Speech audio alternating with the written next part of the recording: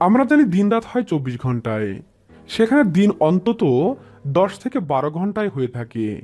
কিন্তু এমন একটি স্থান রয়েছে যেখানে তিন ঘন্টায় হয় দিন শেষ।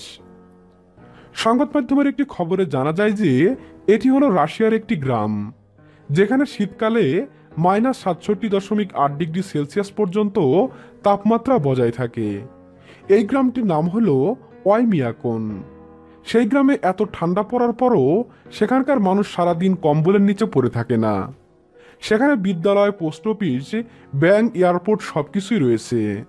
রয়েছে মানুষের স্বাভাবিক জীবনযাত্রা। তবে সেগুলো শুধু গ্রীষ্মকালে চালু থাকে। হাড় কাঁপানো শীতের মধ্যেও সেখানে মানুষ জীবিত থাকেন আর কাজের মধ্যে ব্যস্তও থাকেন।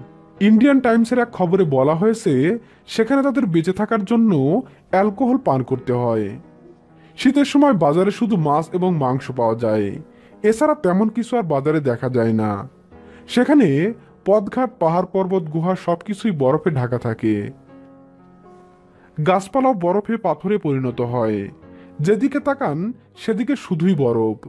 এই গ্রামে আলোর দেখা পাওয়া যায় মাত্র তিন ঘণ্টার জন্য।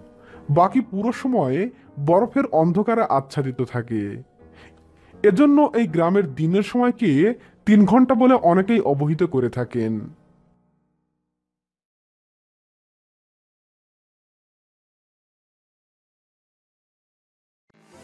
Thanks for watching.